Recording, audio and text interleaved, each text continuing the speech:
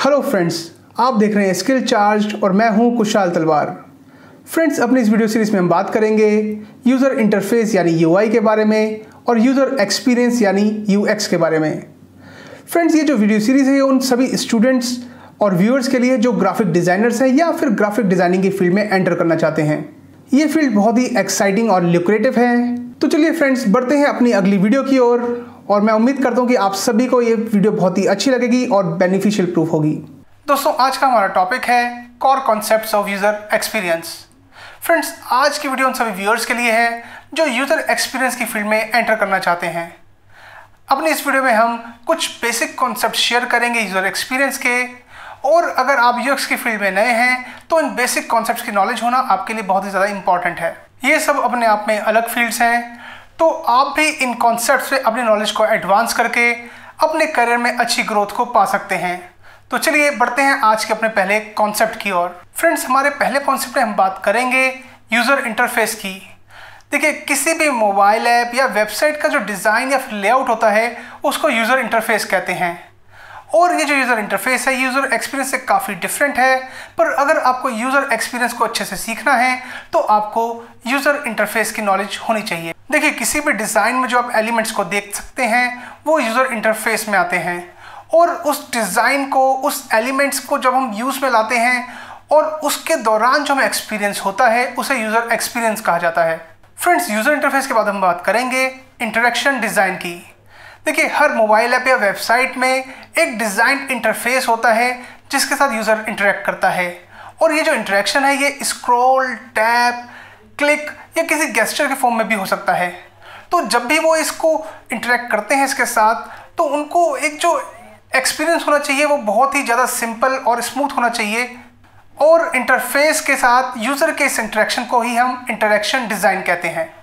और ये user experience का एक बहुत ही अहम हिस्सा है जैसा कि शायद आपने देखा भी होगा कि टिंडर में स्वाइप करके और इंस्टाग्राम में डबल टैप करके हम बहुत ही इंपॉर्टेंट एक्शंस को परफॉर्म कर सकते हैं। फ्रेंड्स इंटरेक्शन डिज़ाइन के बाद अब हम बात करेंगे विजुअल डिज़ाइन की। और कोई भी यूज़र इंटरफेस में जो कलर्स एलिमेंट्स या आइकन्स एग्जेट्रा होते हैं, वो उस यूआई का विजुअल डिज़ाइन कहलाते हैं। विजुअल डिज़ाइन एक बहुत ही इंपॉर्टेंट टूल है आपके यूज़र्स को एक्साइट कराने के लिए और इम्प्रेस करने के लिए।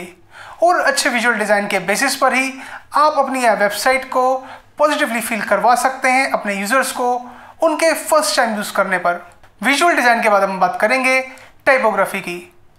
यूज़र एक्सपीरियंस का एक बहुत ही इंपॉर्टेंट एस्पेक्ट है टाइपोग्राफी यानी कि यूज़ ऑफ़ फॉन्ट्स कौन सी फ़ोन को कहाँ पर यूज़ करना है, क्या उसका साइज़ रहेगा या थिकनेस रहेगी, ये सब बहुत ही एक इंपॉर्टेंट रोल प्ले करता है यूज़र इंटरफेस और यूज़र एक्सपीरियंस में। आपको ध्यान रखना होता है कि आप अच्छी फ़ोन्स को चूज़ करें और वो फ़ोन सभी स्क्रीन और यूज़र्स के लिए ऑप्टिमल हो। एक अच्छी फ़ोन को यूज़ करके आप अपने इंटरफेस को आउटडेटेड से इम्प्रूव करके मॉडर्न लुक दे सकते हैं। फ्रेंड्स टाइपोग्राफी के बाद अब हम बात करेंगे यूजेबिलिटी की। देखिए, किसी भी वेबसाइट या मोबाइल ऐप का यूजेबल होना बहुत ही ज़्यादा इंपॉर्टेंट होता है, क्योंकि अगर कोई भी यूज़र उसके इंटरफेस को अच्छे से यूज़ नहीं कर पा रहा, या फिर मान लीजिए कोई बटन ठीक से काम नहीं कर रहा मेन्यू ठीक से ओपन नहीं हो रहा तो ये सब जो है आपकी वेबसाइट या मोबाइल ऐप की यूजेबिलिटी को काफ़ी पुअर कर देता है। और ये चीज़ यूएक्स का एक बहुत ही बैड पार्ट है। फ्रेंड्स यूजेबिलिटी के बाद अब नंबर आता है इंफॉर्मेशन आर्किटेक्चर का। आप अपनी वेबसाइट या ऐप के पेजेस को या स्क्रीन्स को कैसे आप शो करते हैं, कैसे उनको स्ट्रक्चर करते हैं, इस चीज़ को इंफॉर्मेशन आर्किटेक्चर कहा जाता है। और आपकी साइट को सही से स्ट्रक्चर करना भी बहुत इंपॉर्टेंट होता है, ताकि आपके यूज़र्स को पता हो कि वो कौन से पेज पर हैं, किस पाथ से वो उस पेज पर आए हैं, और आगे नेक्स्ट पेज पर जाने के लिए उनको क्या करना है। दोस्तों इन्फॉर्मेशन आर्किटेक्चर के बाद अब हम बात करेंगे कंटेंट की। देखिए, किसी भी साइट के डिज़ाइन एलिमेंट और स्ट्रक्चर के साथ साथ कंटेंट भी एक बहुत इंपॉर्टेंट रोल प्ले करता है और ये भी यूज़र एक्सपीरियंस का एक पार्ट होता है। यूज़र्स आपकी साइट पर जब आते हैं तो उनको बहुत सारा रीडेबल कंटेंट भी दिखता है। अब इस कंटेंट का इफ़ेक्टिव होना भी आपके लिए बहुत इंपॉर्टेंट पैरामीटर है और कंटेंट की फ़ील्ड को यू में कंटेंट स्ट्रेटजी भी कहा जाता है। फ्रेंड्स कंटेंट के बाद हम बात करेंगे फंक्शनैलिटी की। देखिए यूजेबिलिटी की तरह फंक्शनैलिटी भी बहुत इंपॉर्टेंट पैरामीटर है यूज़र एक्सपीरियंस का। और मान लीजिए अगर आपने अपनी वेबसाइट में कोई फंक्शनलिटी लगाई है, कुछ भी ऑर्डर करने की, पर उसके बावजूद भी यूज़र्स जो है ठीक से ऑर्डर नहीं कर पा रहे हैं तो ये आपकी वेबसाइट का यूज़र एक्सपीरियंस जो है वो बहुत ही हैवीली इम्पैक्ट करेगा। इसलिए ये बात बहुत ही इंपॉर्टेंट है कि यूजेबिलिटी टेस्टिंग के साथ फंक्शनलिटी टेस्टिंग भी ज़रूर हुई हो। तो फ्रेंड्स मैं उम्मीद करता हूँ कि आपको वीडियो बहुत पसंद आई होगी, और अगर इनमें से किसी भी टॉपिक पर आप डिटेल इन्फॉर्मेशन चाहते हैं तो वो भी हमें कमेंट्स के थ्रू ज़रूर बताएँ, ताकि आगे आने वाली वीडियोस में हम उन टॉपिक्स को भी डिटेल में आपसे शेयर कर पाए।